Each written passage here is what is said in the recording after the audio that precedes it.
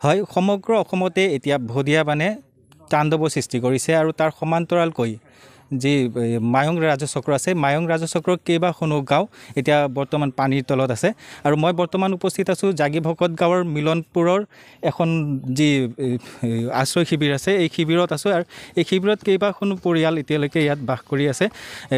যি পশুধন আৰু মানুহ একেলগে বাস কৰি থাকিব লগা হৈছে। এই দুৰ্বিষহ জীৱন অতিবাহিত কৰিছে তেওঁলোকে। মোৰ লগত বৰ্তমান উপস্থিত আছে এই শিবিৰৰ এই শিবিৰৰে এজন লোক আছে বানপীড়িত লোক আছে। তেওঁৰ পৰা পোনে পোনে জানিব বিচাৰিম আপোনালোকৰ কেনেধৰণৰ সমস্যা হৈ আছে ইয়াত?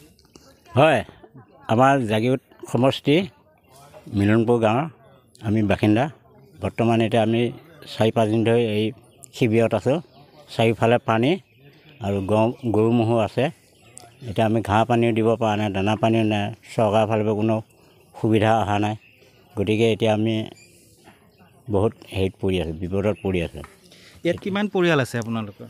এতিয়া মুঠতে আমাৰ বত্ৰিছ ঘৰমান আছে। বৰ্তমান শিবিৰত আমি কেইবাঘৰো আছোঁ এতিয়া। এনেই কিন্তু মিলনপুৰত বত্ৰিছ ঘৰ মানুহ আমাৰ ইয়াত। বৰ্তমান পানীৰ তলত যোৱা কেইঘৰমান আছোঁ আহি। বাকী আহি আছে এতিয়াও নাও লৈ গতিকে এতিয়া নাৱৰ সুবিধাও নাই। কিছুমান পানীত পৰি আহি আছে।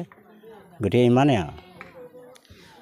হয় সমস্যা আছে ইহঁতৰ। এই ইয়াত যি পৰিয়াল পৰিয়ালৰ আছে পৰিয়ালসকলৰ সমস্যা বহুত আছে।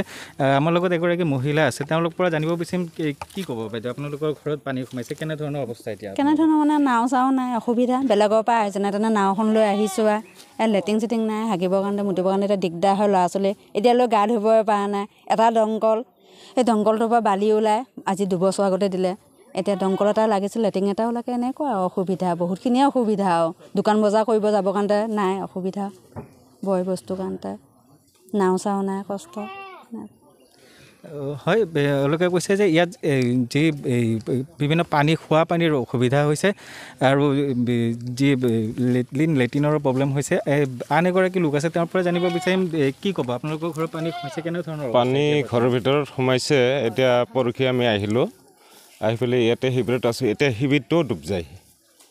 দি- শিবিৰটোৰ ওপৰত এক কোমৰ পানী হৈ যায়। এতিয়া ইয়াৰ পৰা আৰু বেলেগত যাবই লাগিব নেকি? এতিয়া কেনেকৈ কি কৰোঁ আৰু? একো ধৰিব পৰা নাই। মানুহ আৰু জীৱ জন্তু খাদ্যৰ অভাৱ ঘটিছে। অঁ জীৱ জন্তুৰ খাদ্যৰ অভাৱ হৈছে একো ক'ৰ পৰা অহা নাই। এনে খেৰ চেৰ অলপ দিয়া হৈছে হ'লেও কিন্তু নাই মানে বেলেগ উপায় নাই। এইবাৰতে জীৱ জন্তু মানে চাই থাকোঁতে যাই আছে। আৰু খেতি পথাৰ আপোনাৰ পথাৰত গোটাই ডুব গৈছে। গোটেইখিনি মানুহৰে বছৰে এনেকুৱাই হৈ থাকে। হয় খেতি বাতিও ডুব গৈছে এওঁলোকৰ। আপোনালোকৰ খেতি বাতি ডুব গৈছে। কেনেধৰণৰ অৱস্থা খেতিৰ এতিয়া বৰ্তমান? এতিয়া আমি জলসিঞ্চন সিঞ্চন বিভাগৰ পৰা পানী ল'লোঁ লৈ খেতি কৰিলোঁ। এতিয়া খেতিবিলাক মানে ৰোৱা কোলা পৰিছিলে। বৰ্তমান এতিয়া এই পানী আহি চব ডুব নিয়ালে। সাত হাত তলত পানী তলত ৰোৱা এতিয়া বৰ্তমান আছে। এতিয়া দ্বিতীয়বাৰ ৰুবলৈ আমাৰ কঠীয়া বিধান নাইকিয়া হৈ গ'ল। এনেকুৱা অৱস্থা। তলত। হয় বিভিন্ন সমস্যা আছে আৰু এই সমস্যাৰ মাজতেই এওঁলোকে এই প্ৰতি বছৰে এনেদৰেই জীৱন অতিবাহিত কৰিবলগীয়া হয়।